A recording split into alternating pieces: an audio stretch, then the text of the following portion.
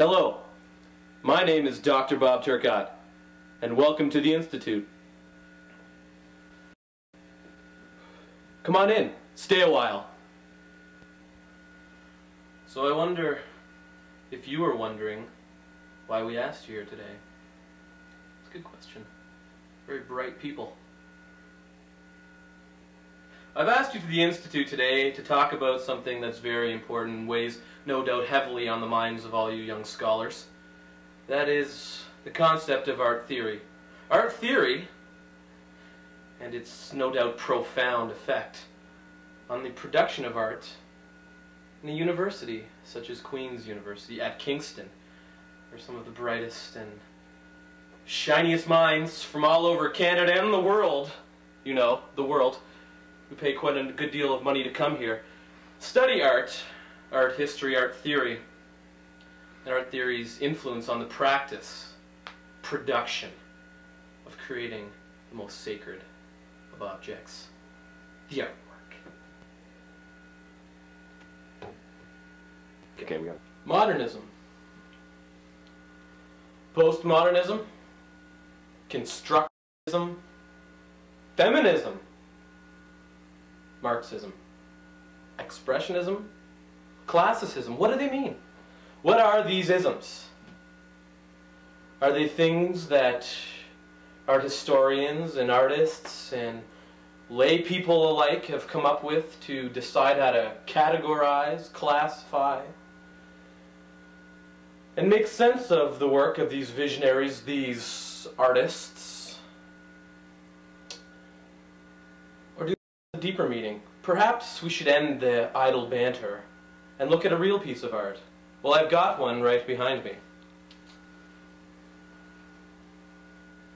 The bold colors, the flagrant disregard for materials. Look, I see acrylic, I see oil. I see more acrylic on top of that oil, and on top of that oil, I see more acrylic and more oil again. Was this particular artist concerned with the aforementioned isms as he created this work? Or did he just create the work and afterwards reflected? Did he even bother to reflect? These are not things that I can simply answer. I've spoken far too much for this portion of our little introduction to the effect of art theory on the production of art. Perhaps now I should send you into one of our spotless and sterile laboratories where we'll speak with one of the brightest young researchers. Maybe he can answer a few of the questions that burn a hole in my heart and in your pocket. Let's go there now. Won't you join me?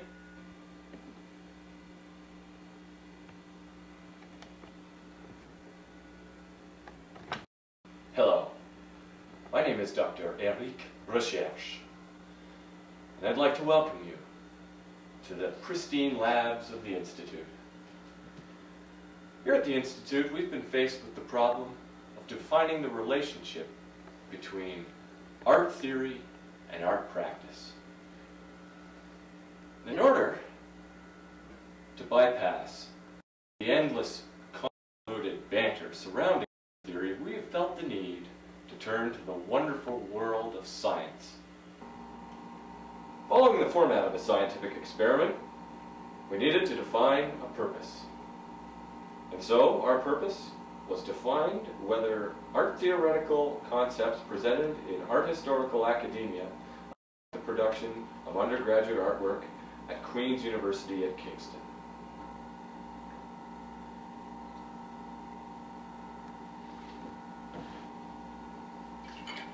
Of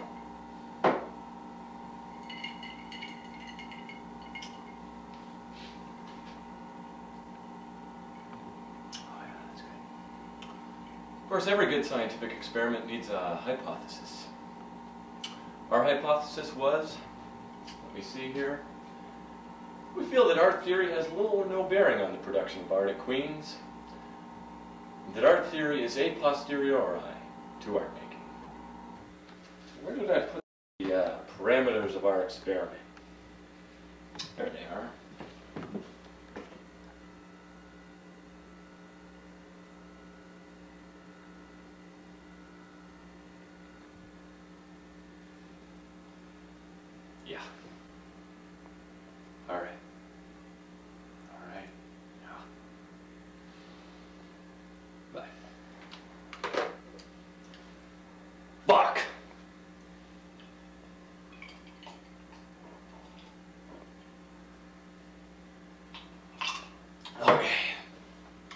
Our experiment. For this experiment, we will present the uh, art students with a brief survey, yes or no opinions, of course, the results of which we hope will support our hypothesis. The questions in the survey will endeavor to ascertain the students' awareness of art theory and its effect on their work. The controls of our experiment include no less than 50 Queen students polled so as to assure an accurate cross-section of the Queen's art faculty, as well as yes or no questions only. Yes? No. And now, it's time for the conclusions of our survey. Fact in our conclusion tends to sting a little.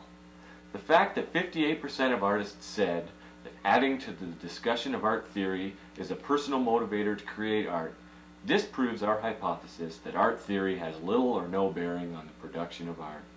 Yet there are a few discrepancies.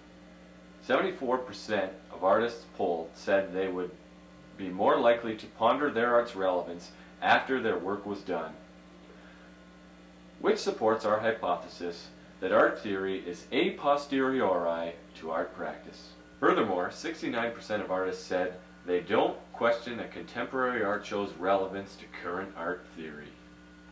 Lastly, 90% of artists polled admitted to reacting to art shows on a purely personal, experiential level, as opposed to an intellectual, art theoretical level. With that out of the way, sit back, relax, and let's go back to the doctor for the final word. The marvels of science, really. Marvelous. Science. Really. What has science done for us? Well, aside from figuring out a way how to put all my vegetables and fruits and minerals and vitamins into this fancy little rainbow jar, or giving me a way to clean out the dirtiest of places in my house with the little duck neck that fits underneath where the germs like to hide. These are two of the things that science has given us, and science as well has taught us some valuable lessons here at the Institute regarding art and art theory. Well, initially we found a bit of a fly in our ointment. In that, we discovered that art artists and the art they created tend to be influenced a little more than we thought by art theory. However, pursuant to our hypothesis, we have found that almost all of them claim that art theory well, that art theory isn't really that important up until the time that the art is already completed, post-production, if you will. So what lessons have we learned here? Well, we learned that, of course, artists do look at art theory. These artists are all people who pay attention. 88% of them say that outside of assigned readings, they will read articles, magazines, attend lectures, watch television shows and movies, Uh, obtain microfiche from their local library that all speak of art theory. Yet very few of them stated that they accept art theory as the only motivator to create art. All very interesting. All something to think about, really. So, for Dr. Eric Recherche and everyone at the Institute. I'm Dr. Bob, wishing you good art and Godspeed.